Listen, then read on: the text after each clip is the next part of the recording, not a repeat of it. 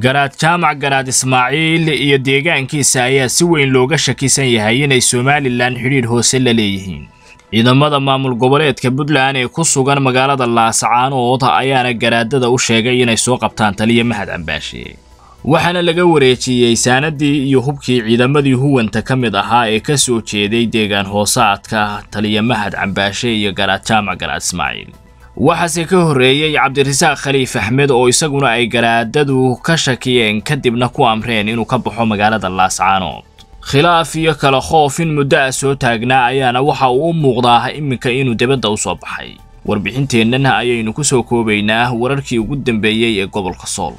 Ciidamada maamul goboleedka puntland ee ku sugan magaalada laascaanood ee xarunta gobolka sool ayaa shuruudo adag hordhigay garaadada oo ay koow ka tahay inay soo qabtaan taliya mahad cambaashe iyo ciidamada ka midka ah ciidanka qaranka jamhuuriyadda somalilan ee ka soo jeeda deegaanka bariga sool. Haddii kale ay ku noqonayaan goobihii iyo fadhiisimadii ay ka yimaadeen oo aanay ku sii sugnaanayn magaalada laascaanood ee xarunta gobolkaasi. Shuruudahan ay hordhigeen waxgaradka bariga sool oo ay ku adkaatay inay fuliyaan ayaana waxa ay keentay in ugu dambayntii laga shakiyo deegaan hoosaadka garaad jaamac garaad ismaaciil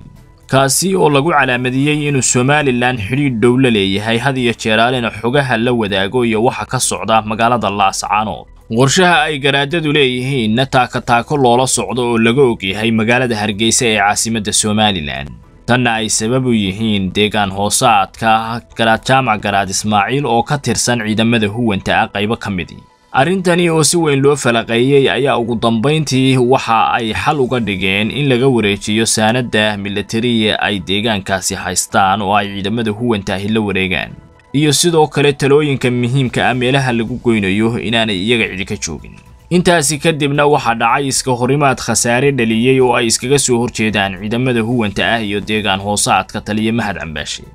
sida oo kale deegaankani waxa ay si cad u diideen waddada ciidanka qaranka jamhuuriyadda somalilan isku xidha inay ka abuuraan qalalaase iyo xasilooni darro. Iyada oo arrintaasi ay si cad uga soo horjeestay garaad jaamac garaad cali iyo madax dhaqameedka kale ee deegaankaasi leeyahay. Ma aha markii ugu horraysay ee laga shakiyo sida oo kale cabdirasaaq khaliif axmed oo deegaankaasi ka soo jeeda ayaa isagana laascaanood laga caydhiyey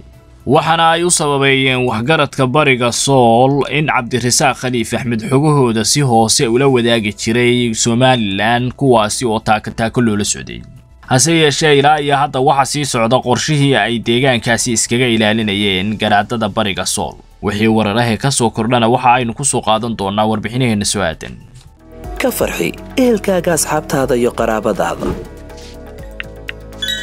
La soo deg abka dahabshiil si aad si fudud lacag ugu dirto. Marka aad la soo degto ablicathonka dahabshiil ee aad lacag ka dirayso isticmaal koorka khadmad la'aanta ee tree free oo kuu sahlaya in saddexda jeer ee ugu horreeya ee aad lacag dirayso aan wax khadmad ah lagaa qaadin. Dahabshiil howlfudaydiyahaaga maaliyadeed